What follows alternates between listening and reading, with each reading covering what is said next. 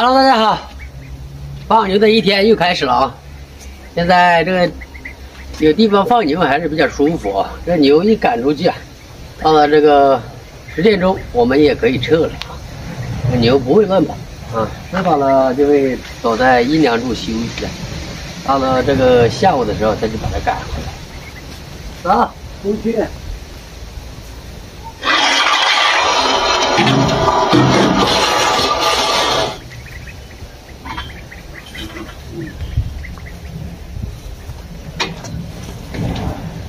来。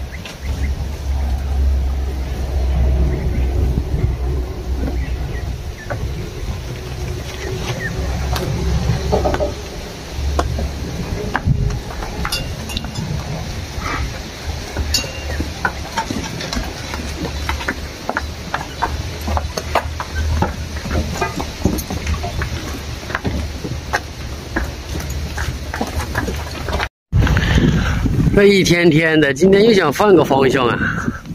啊，平时都走那边的。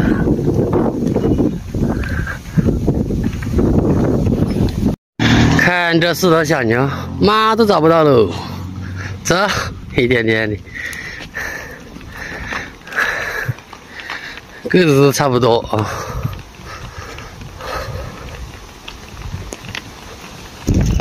现在牛啊，已经让它在那个大山里面啊，呃，吃完饭，下午去赶，这个三点钟差不多就可以赶回来。把鸭子放出来。现在我的鸭子都学会走独木桥了。你走你的阳阳关独木桥，我走我的阳关道。啊？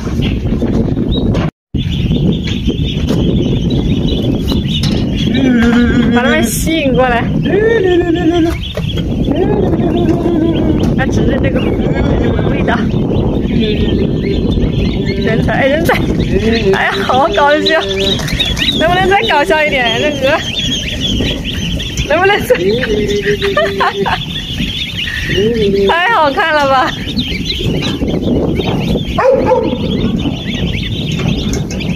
上去，这就舍得抓，是不是？关注，快点关注！太可爱了，你们，你们怎么那么可爱呢？虽然可爱，长大了也阻挡不了我吃你们的决心。来来来，别抢！这样在外面吃啊，这个打湿一点那个羽毛啊，这个太阳一照，然后就干了。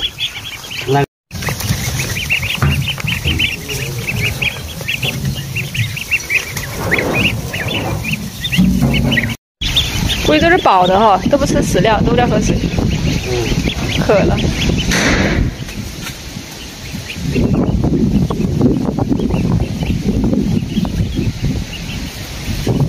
要换大壶喽。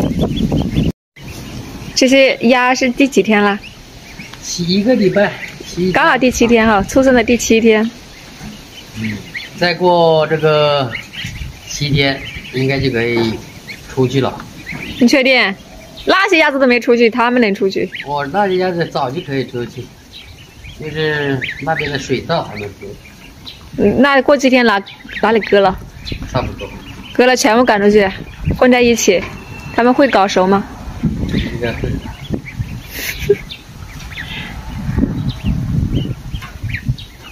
还好啊，还多少只？九十五只。呃还剩五只。还算成功了这一次，